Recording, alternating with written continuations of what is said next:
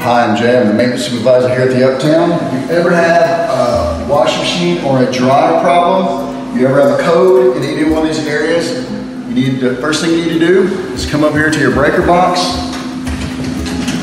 find your number 10 and your number 11 and 13, which is your 10 is here.